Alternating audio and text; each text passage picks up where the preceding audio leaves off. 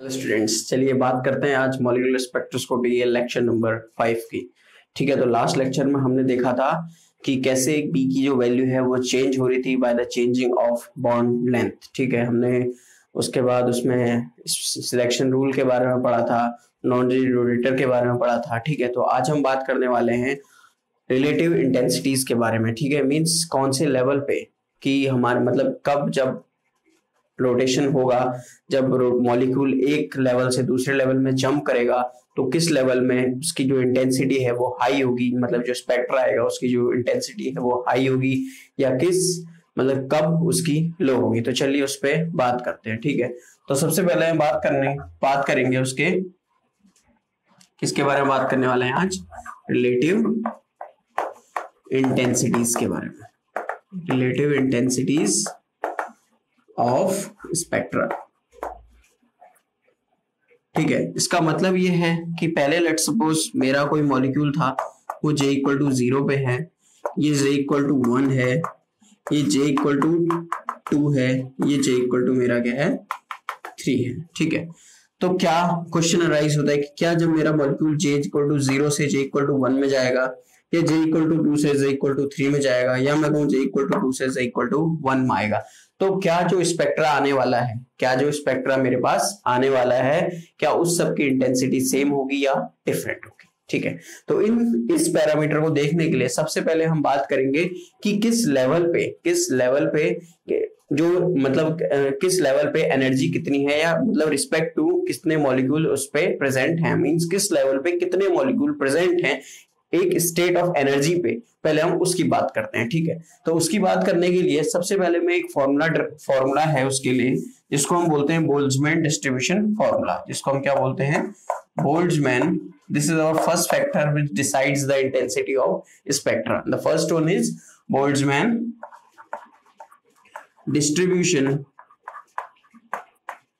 Boltzmann distribution formula ठीक है, पहले हम बात करेंगे किसकी? बोल्ट्जमैन डिस्ट्रीब्यूशन फॉर्मूला की।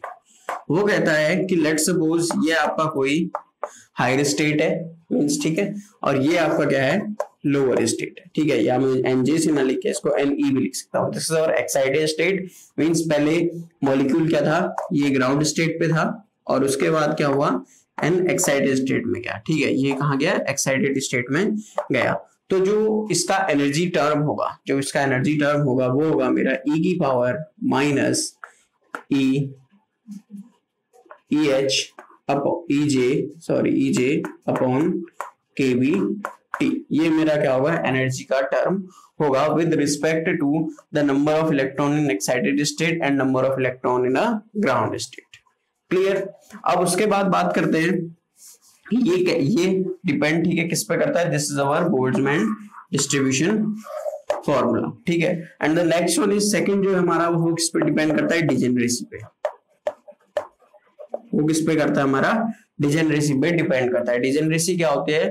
दो, किसी दो ऑर्बिटल की जब एनर्जी सेम होती है तो हम कहते हैं वो दो ऑर्बिटल्स के आपस में डिजेनरेट हैं, ठीक है? तो इसी डिजेनरेसी को तो जो डिजेनरेसी होती है, जिसको डिनोट करते हैं जी से जिसको हम किससे डिनोट करते हैं? जी से। वो कितनी आती है हमारी?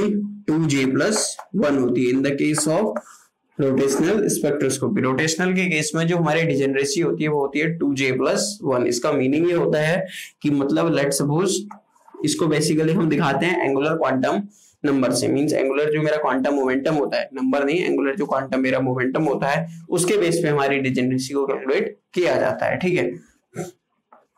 जैसे कहते हैं कि लेट सपोज़ मेरे पास ये मेरा क्या है? जब मैं बात करूँगा अपने जे इक्वल टू वन की जे इक्वल टू वन में अगर लेके चलता हूँ तो मेरा जो पी होता है पी मैंने बताया था आपको शायद अंडर रूट जे ब्रैकेट में J plus one H cut ठीक है, यही होता है मेरा पी की वैल्यू तो अगर मैं इसमें जे की वैल्यू वन पुट करूँगा तो मेरा जो आंसर आएगा पी वो आएगा मेरा रूट टू, वो कितना आएगा मेरा रूट टू और जो रूट टू होता है, इस मीन्स ये कितना जा सकता है? यहाँ पे ज़ीरो ये आ सकता है मेरा plus one this is our my plus one and this is Y minus one और ये मेरा क्या सकता है? तो तीन वैल्यूज़ आ सकती हैं जे इक्वल टू वन से. This is plus one and this is minus one means या तो मेरा आ सकता है रूट टू इस डायरेक्शन पे भी जा सकता है मेरा इसका वेक्टर ठीक है this is this is this is my vector quantity ये मेरी क्या होती है? वेक्टर क्वांटिटी तो इसकी तीन डायरेक्शंस में ये वैल्यूज़ को देता है। इस डायरेक्शन में भी ये वैल्यू को दे सकता है और इस डायरेक्शन में भी ये वैल्यू को दे सकता है। ठीक है, ये थोड़ा आपको टिपिकल लग रहा होगा आई नो ठीक है तो सिंपल बात ये है कि जो डिजेनरेसी होती है, किसकी? रोटेशनल स्पेक्ट्रोस्कोपी वो होती है टू जे प्लस वन वो आती है हमारी यहाँ से। अगर देखिए यहाँ कितनी टोटल वैल्यूज़ आई, मेरे पास थ्री वैल्यूज़ आई। और यहाँ पुट करूँगा अगर वन तो वन इंटू टू थ्री और ऐसे अगर मैं जे की वैल्यू टू रखूँगा तो यहाँ टोटल कितनी वैल्यूज़ आएँगी? Five zero minus one minus two zero plus one plus two total कितनी वैल्यूज़ आती है? फाइव तो अगर यहाँ पुट करेंगे तो two into two plus one equal to five तो टोटल वैल्यूज़ कितनी आई? फाइव वैल्यूज़ तो डिजेनरेसी कितनी हो जाती है? टू जे प्लस वन ठीक है? तो अगर मैं इसको अब यहाँ पुट करूँगा, इस फॉर्मूले में तो मेरा बन जाएगा N E upon N zero equal to two J plus one into E की पावर माइनस अगर मैं इसको वैल्यू पुट कर दू minus B H C B H C J J plus one energy की वैल्यू रख दी अपॉन के बी टी ठीक है तो ये मेरा क्या आएगा? फॉर्मूला निकल के आएगा किसके लिए? Relative intensities of relative intensity of spectra ठीक है, where 2j plus j is rotational quantum number, b is b is rotational constant h is Planck constant c is speed of light j is rotational constant number kbt is kb is Boltzmann constant kb क्या होता है हमारा Boltzmann constant इसकी value कितनी होती है 1.38 into 10 to the power minus 23 and t is temperature t क्या होता है मेरा टेम्परेचर होता है ठीक है ये तो ये हमारा क्या होता है बेसिकली फॉर्मूला है कब जब हमें देखना हो कि किस स्टेट की कितनी इंटेंसिटी होगी ठीक है अब बात करते हैं कि मैक्सिमम कहाँ पर होगी? ठीक है, ये तो हमें पता लगा सकते हैं इससे कि कौन सी स्टेट में हमारे इलेक्ट्रॉन की डेंसिटी कितनी है। अब हमें पता लगाना है कि मैक्सिमम डेंसिटी कहाँ पर होगी। या मैं कहूँ मैक्सिमम पॉपुलेशन कहाँ पर होगी? तो मैक्सिमम पॉपुलेशन का फॉर्मूला होता है, किस स्टेट में होगी?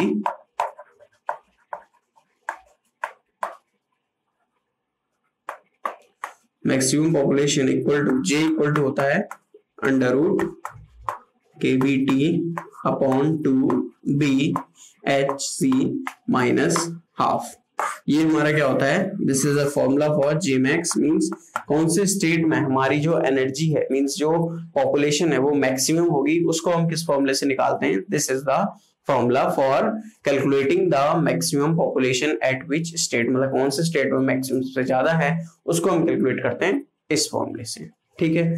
ये बात भी क्लियर होगी होगी। ठीक है तो this is our formula for the relative intensities अब हम बात लास्ट बात करेंगे जो मैंने आपसे पहले लेक्चर में कहा था कि लीनियर के लिए कैसे कैलकुलेट करते हैं सिमेट्रिक के लिए कैसे करते हैं स्पेरिकल के लिए कैसे करते हैं और असिमेट्रिक टॉप के लिए कैसे करते हैं। ठीक है तो लीनियर का दो केसेस थे। ठीक है, अब इसको कंक्लूड करने जा रहे हैं हम चैप्टर को। लीनियर के हमारे दो केस थे one is rigid and next one is non rigid non rigid non rigid का फॉर्मूला क्या था हमारे पास? Equal to B J J plus one minus D J square J plus one का whole square this is in if you calculate it in centimetre inverse ठीक है? और rigid के लिए क्या था? Equal to B into J bracket में J plus one ठीक है? फिर इनका डेल्टा ई e कैसे निकालते हैं? डेल्टा ई e इसका आता है two B J plus one minus D J plus one का whole cube centimetre inverse delta E क्या है मेरा? E two minus E one means higher state minus lower state की जो एनर्जी होगी वो इसकी इतनी होती है। रेजिडोडेटर की किसमें होती है।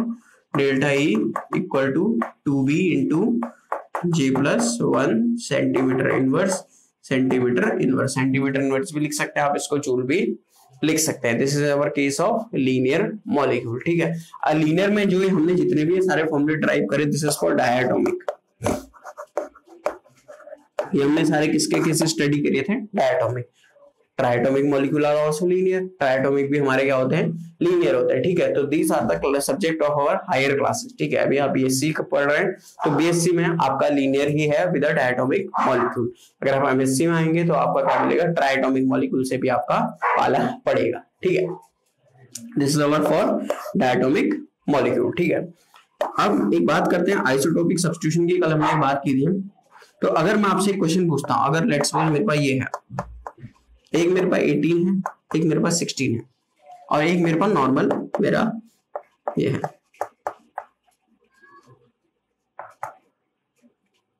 ठीक है, मैंने क्या किया है, एक बार इसको आइसोटो ऑक्सीजन का 16 होता है, ठीक है तो 16 ही करते हैं इसको। अगर मैं कंसीडर करूँ दिस इज़ अवर ये मेरा क्या है इनएक्टिव होता है। ये मेरा कैसा होगा इनएक्टिव होगा।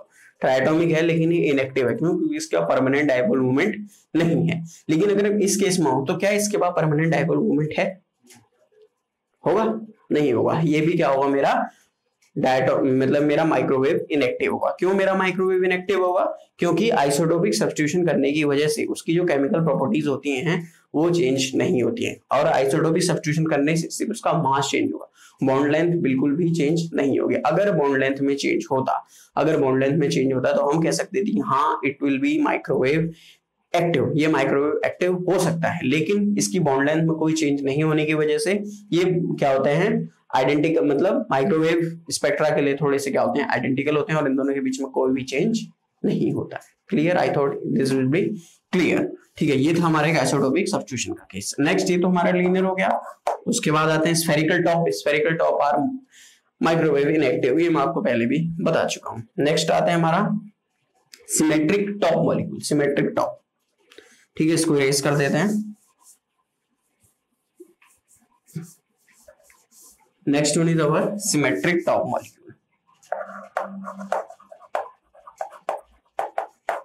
symmetric top symmetric top में हमारे पास दो केस आते हैं। One is our prolate and next one is our oblate इसके लिए जो एनर्जी का फॉर्मूला है, इसके लिए जो हमारा एनर्जी का फॉर्मूला होता है, पता है B J J plus one minus A minus B into K square this is our formula for symmetric top molecule ठीक है?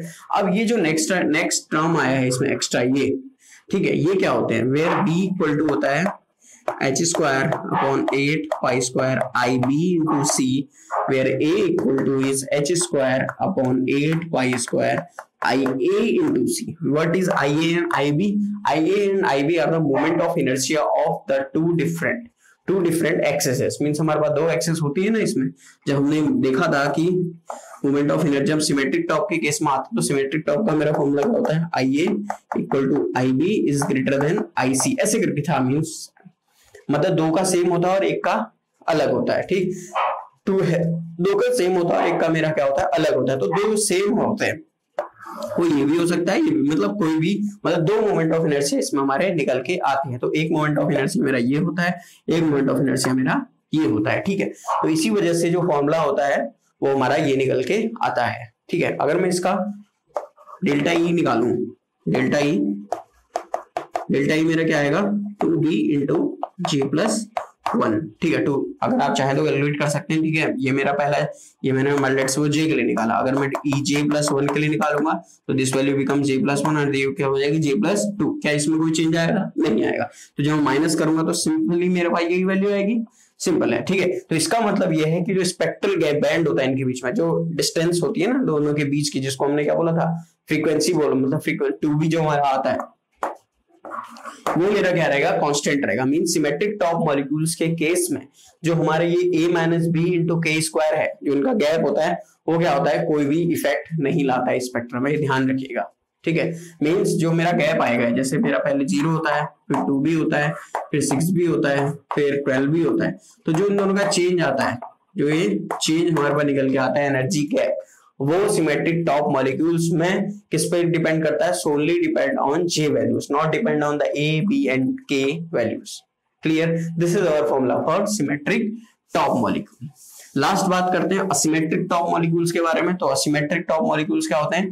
जिनका I B is not equal to I A is not equal to I C कैसे भी लिख दो I A not equal to I B not equal to I C ठीक है, इसमें इसमें कौन सा मॉलिक्यूल आता है हमारा? एच टू आता है, जो माइक्रोवेव वन की कल मैंने बात की थी वो, और एक हमारा ओजोन भी क्या आता है, इसी के अंडर आता है। ठीक है तो इन मॉलिक्यूल्स में क्या होता है? जो तीनों के तीनों मेरे हैं मोमेंट ऑफ़ इनर्शिया वो तीनों क्या हैं?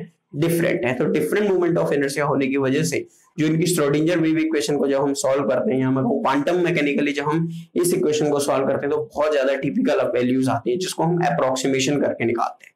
और अप्रोक्सीमेशन करके निकालते हैं तो मोस्टली क्या करते हैं हम सिमेट्रिक टॉप मॉलिक्यूल्स के लिए कोई बेसिक एक फॉर्मूला नहीं है। This is comes by the approximation ठीक है? तो सिमेट्रिक टॉप मॉलिक्यूल को हम अपने मॉलिक्यूलर स्पेक्ट्रम में बहुत कम पढ़ते हैं। Means this has a very complex spectra ठीक है तो ये सारी कहानी थी हमारी मॉलिकुलर स्पेक्ट्रोस्कोपी की। ठीक है molecular spectroscopy under rotational spectroscopy की। ठीक है, इसके बाद नेक्स्ट लेक्चर में हम क्या करेंगे, इससे रिलेटेड एक क्वेश्चन करेंगे, जिसमें हमारा सारा का सारा जितना हमने पढ़ा है अभी तक, वो सारा क्या होगा कवर होगा। और उसके बाद मैं क्या करूँगा, आपको इंफ्रारेड स्पेक्ट्रोस्कोपी की तरफ़ को ले जाऊँगा, ठीक है? होप आपको ये सारी बातें क्लियर होगी। एक बार रिकैप कर लेते हैं पूरा का पूरा। सबसे पहले हम रोटेशनल स्पेक्ट्रोस्कोपी में आए थे तो हमने देखा था माइक्रोवेव इसमें रोटेशनल स्पेक्ट्रोस्कोपी में जो हमारी वेव यूज़ होती है इलेक्ट्रोमैग्नेटिक वेव वो हमारी क्या होती है? माइक्रोवेव स्पेक्ट्रोस्कोपी होती है और कौन से मॉलिक्यूल इसमें एक्टिव होते हैं जिनके पास परमानेंट डायपोल मूवमेंट होना चाहिए। इसके बाद हमने चार टाइप के मॉलिक्यूल की बात की थी। One is linear symmetric asymmetric और स्फेरिकल जिसमें असिमेट्रिक और स्फेरिकल की हम स्टडी नहीं करते हैं। मोस्टली जो मेजर स्टडी की जाती है वो लीनियर मॉलिक्यूल्स की, की जाती है। जिसमें हमारे दो केसेस आते हैं। One is diatomic one is diatomic ठीक है? डायटोमिक स्टडी करते हैं सबसे पहले हम। तो डायटोमिक स्टडी करने आए तो सबसे पहले हमने क्या करा? मोमेंट ऑफ़ इनर्शिया कैलकुलेट किया था। आई इक्वल टू था mu R square mu is a reduce mass and R is the distance between them उसके बाद हमने निकाला था उससे कैलकुलेट करके बी की वैल्यू मींस एनर्जी निकाली थी। एनर्जी को पहले हमने equal to half M v square उसको हमने मतलब रोटेशन के टर्म में पढ़ा था और बी लास्ट में हमारी जो एनर्जी आई थी, वो आई थी equal to B J J plus one where B is the rotational constant उसकी वैल्यू होती है H square upon eight pi square I ठीक है? और इसको जूल के, इसको ये हमने जूल में निकाला था सेंटीमीटर में निकालेंगे तो H upon eight pi square I C हो जाएगा। ठीक है rotational quantum number H is Planck constant ये सब आपको पता होगा। उसके बाद हमने डेल्टा ही निकाला था delta is equal to two B into J plus one मेरा आता है। This is case of linear उसके बाद हमने थोड़ा माइक्रोवेव ओवन के बारे में स्टडी किया था। उसके बाद हमने थोड़ा सा और इसको देखा था किसके रिस्पेक्ट में? फिर हमने सिमेट्रिक टॉप में गए आइसोटोपिक सब्सटीट्यूशन पढ़ा, देखा कि कोई चेंज नहीं आता है। जो इनएक्टिव है, वो इनएक्टिव रहेगा। बस it only change in the atomic mass या मैं कहूँ रिड्यूस मास रिड्यूस मास में direct effect on the B values और उससे क्या होता है, हमारा जो स्पेक्ट्रल गैप होता है, वो थोड़ा श्रिंक हो जाता है। नॉर्मल के केस में rigid rotator non rigid rotator rigid rotator क्या होता है? जिसके बीच के बॉन्ड लेंथ चेंज नहीं होते नॉन रिजिड रोटेटर मतलब बॉन्ड लेंथ हमारा चेंज हुआ, ठीक है? ये भी हमारा क्या था? नॉर्मल रोटेशनल स्पेक्ट्रोस्कोपी की सारी बातें थी। इसके बाद हम बात करेंगे किसके बारे में? इंफ्रारेड स्पेक्ट्रोस्कोपी के बारे में, जिसको हम बोलते हैं वाइब्रेशनल स्पेक्ट्रोस्कोपी और उससे पहले हम क्या करेंगे? क्वेश्चन को डील करेंगे, जिसके अंदर हमें सारा का सारा पढ़ेंगे, ठीक है? तो देख लीजिए आप, अगर आपको कोई डाउट हो तो पूछ लीजिए।